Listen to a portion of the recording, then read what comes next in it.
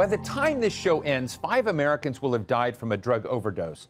By the end of this day and every day, the number is going to be about 300. It's one of the country's top killers. Like vaping, weed, tobacco, Molly, and alcohol. Addiction has been described as a global humanitarian crisis. It affects millions of people. Welcome back again guys, मैं नाम संगीत तो कैसे हैं आप लोग उम्मीद करता हूँ काफी अच्छे होंगे आज की वीडियो में बात करने वाले हैं things to avoid during the period of adolescence और टीनेज Basically guys इस वीडियो में बात करने वाले हैं टीनेज मिस्टेक्स के बारे में, जिसको आप अवॉइड करें तो बेहतर होगा। आपको ही पता होगा गाइस टीनेज हमारे लाइफ का ऐसा पीरियड होता है जहाँ पर हमारा जो मेंटल लेवल डेवलपमेंट और फ़िज़िकल लेवल डेवलपमेंट उसका लेवल काफ़ी ज़्यादा होता है डेवलपमेंट का। उस पीरियड में अगर ऐसे मिस्टेक्स करते हैं तो हमारा जो डेवलपमेंट होता है, वो डिक्रीज हो जाता है और उसका डेवलपमेंट निगेटिव वे में भी हो सकता है कभी कभी इसलिए हम इस वीडियो में पाँच चीज़ों के बारे में बात करेंगे, जिससे आप अवॉइड करिए तो बेहतर होगा, क्योंकि जो ये चीज़ें हमारे ओवरऑल डेवलपमेंट को काफ़ी ज़्यादा इंपैक्ट करती है और हमारा जो क्वालिटी ऑफ़ लाइफ है, उसे भी काफ़ी ज़्यादा डिक्रीज कर देती है। उम्मीद करता हूँ कि ये वीडियो आपके लिए काफ़ी हेल्पफुल होगी और वीडियो के लास्ट में हम बात करें कुछ इंपॉर्टेंट टिप्स के बारे में, जिसकी मदद से आप क्वालिटी ऑफ़ लाइफ जी सकते हैं even in this distracted period आपको बताओ जो हमारा टीन होता है उसमें हमारा जो अट्रैक्शन होता है नेगेटिव चीज़ों के प्रति काफ़ी ज़्यादा होता है। जैसे कि एडिक्शन हुआ बेड सर्किल हुआ सोशल मीडिया हुआ ये सब चीज़ें हैं जो कि हमें काफ़ी ज़्यादा डिस्ट्रेक्ट कर देती है टीनेज में गाइस और in the period of adolescence basically guys हम जैसे ही थर्टीन के होते हैं तो हमारे अंदर हार्मोनल चेंजेस होने लगते हैं जिसके कारण हमारा जो अट्रैक्शन होता है नेगेटिव चीज़ों के प्रति काफ़ी ज़्यादा होता है। लेकिन हम भूल जाते हैं कि टेम्पोरी चीज़ें गाइस हमें शॉर्ट टर्म हैप्पीनेस दे सकती है ना कि full term happiness social media cigarette addiction और बेड सर्किल गाइस ही तो हमें शॉर्ट टर्म हैप्पीनेस दे देती है, लेकिन लॉन्ग टर्म में हमारी लाइफ को बर्बाद कर देती है और हमारी क्वालिटी ऑफ़ लाइफ को भी काफ़ी ज़्यादा डिक्रीज कर देती है। गाइस ये वीडियो काफ़ी ज़्यादा हेल्पफुल होने वाली है क्योंकि ये वीडियो आपके पर्सपेक्टिव को चेंज करिए। क्योंकि गाइस ये वीडियो एक्सपीरियंस बेस्ड वीडियो है क्योंकि जो मैंने मिस्टेक की है गाइस वो मिस्टेक आप भी ना करिए। इसलिए वीडियो बना रहा हूँ और उम्मीद करता हूँ कि वीडियो आपको काफ़ी पसंद आएगी। इसलिए गाइस निगेटिव चीज़ों को से नो टू करिए और मिनिमाइज करिए। वैसे गाइस पेरेंटिंग और स्कूलिंग काफ़ी ज़्यादा इंपॉर्टेंट प्ले रोल करते हैं इस पीरियड में। उस चीज़ों के ऊपर भी ध्यान देना ज़रूरी होता है। गाइस एक्सेस प्रेशर और excess stress can lead to addiction addiction quality of life उन चीज़ों के प्रति एडिक्टेड हो जाते हैं, जिन्हें हम नहीं पढ़ना चाहते, वो सब पढ़ने का रीजन होता है। Short term happiness in mistake को अवॉइड करना काफ़ी ज़्यादा ज़रूरी होता है, क्योंकि इन मिस्टेक्स को अगर अवॉइड नहीं करते तो जो हमारा टीनेज है, वो काफ़ी ज़्यादा निगेटिवली इम्पैक्ट हो जाता है, और हमारा जो ग्रोथ होता है, वो स्लो डाउन हो जाता है, और जो हमारा वे ऑफ़ डेवलपमेंट है, वो काफ़ी ज़्यादा इंक्रीज हो जाता है। तो गाइस जो पहला चीज़ है, वही यही है कि अवॉइड एडिक्शन क्योंकि आप भी जानते हैं गाइस जो हमारा टीनेज है, इसमें हमारा जो निगेटिव चीज़ों के प्रति अट्रैक्शन है, वो काफ़ी ज़्यादा रहेगा। जैसे ड्रग्स हुआ कोकीन हुआ सिगरेट हुआ और सोशल मीडिया हुआ जंक फ़ूड हुआ ये सब चीज़ें तो हमें शॉर्ट टर्म हैप्पीनेस देती है लेकिन लॉन्ग टर्म में हमारी ज़िंदगी को काफ़ी ज़्यादा बर्बाद कर देती है। अरे बस कर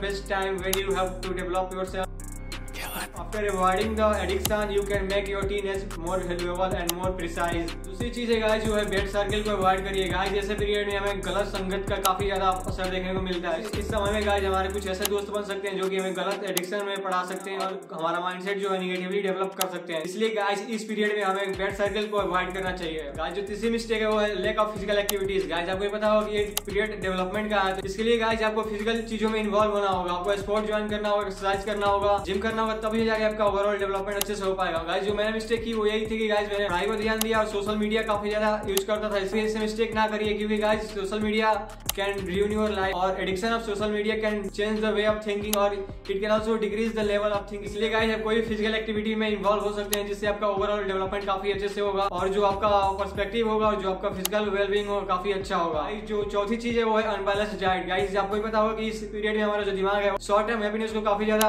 अट्रैक्ट करता है। इसलिए गाइस इस पीरियड में हम ऐसे जंक फ़ूड खाते हैं जिससे इम्पैक्ट हमारे हेल्थ पे दिखता है। गाइस अगर मैं बात करूँ तो गाइस ऑयली फ़ूड हुआ जैसे कि बर्गर हुआ चाउमीन हुआ ये सब तो चीज़ें हमें तो अच्छा फील कराती है लेकिन इसका इम्पैक्ट गाइस हमारे हेल्थ पे भी दिखता है। इसलिए guys say no to junk food और minimise the use of junk food you can also add proteinous food for more growth guys आपको पता होगा कि प्रोटीन लेने से हमारा जो ओवरऑल डेवलपमेंट होता है वो इंक्रीज हो जाता है क्योंकि गाइस जो हमारा टीनेज होता है वो डेवलपमेंट का पीरियड होता है। जो पांचवी मिस्टेक्स है गाइस वो है excess use of social media और इसके सोशल मीडिया की जगह आप कुछ और भी रख सकते हैं। हमारा जो डेवलपमेंट होता है इन चीज़ों के कारण काफ़ी ज़्यादा इंटरप्ट हो जाता है। क्योंकि आपको पता होगा ये पीरियड डेवलपमेंट का है ना कि किसी चीज़ के ऊपर पागल होने का मतलब कि आप सोशल मीडिया के ऊपर जब पूरी तरह इन्वॉल्व हो जाते हैं मतलब लाइक व्यूज़ और ये सब मायने रखता है तो आपका जो लेवल ऑफ़ थिंकिंग है वो इंटरप्ट हो जाता है और जो आपका level of critical thinking problem solving ये भी काफ़ी ज़्यादा इम्पैक्ट हो जाता है इन चीज़ों के ऊपर। देखा? कुछ बात थी उसमें। गाइस यहाँ पे आप सोशल मीडिया की जगह कुछ और भी ले सकते हैं जिसके प्रति आप काफ़ी ज़्यादा एक्सेसिव फील करते हैं। मतलब कि उसके बिना अगर आप वो हटा दिए जाए आपकी ज़िंदगी से तो आप इरिटेट फील करेंगे विड्रॉल डबल सिम्टम का आपको फीलिंग होगा मतलब कि वो चीज़ के बिना आपका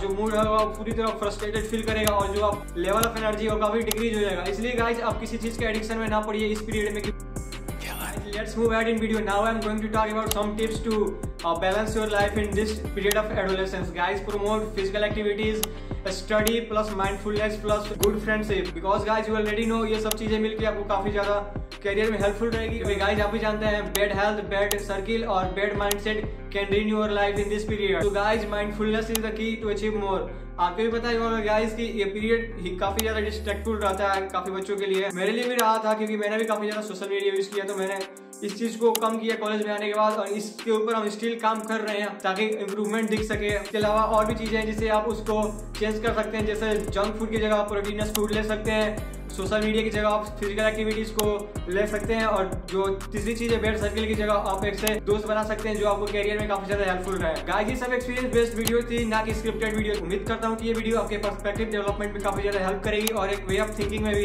इंप्रूवमेंट लाएगी। इसलिए गाइस वीडियो बनाने का मेन मोटो है कि एक्सपीरियंस शेयर किया जाए ताकि आने वाले टाइम में आप इस मिस्टेक ना करें। और क्योंकि आपको पता होगा ये सब चीज़ें हमारी ज़िंदगी को खराब कर देती है क्वालिटी ऑफ़ लाइफ को डिक्रीज कर देती है। क्योंकि गाइस इसका इम्पैक्ट हमारे लाइफ में बाद में पता चलता है, तब तक काफ़ी देर हो चुकी होती है, उस समय बस हमें रिग्रेट ही फील होता है, उस रिग्रेट का इफ़ेक्ट हमारे मेंटल लेवल में दिखता है। इसके कारण हमारा क्वालिटी ऑफ़ लाइफ काफ़ी डिक्रीज होता है इसलिए मिस्टेक ना करिए उम्मीद करता हूँ कि वीडियो काफ़ी पसंद आई होगी आपको। और वीडियो पसंद आई तो हमारे वीडियो को लाइक ज़रूर करिएगा और मिलते हैं वीडियो में, तब तक टेक केयर बाय बाय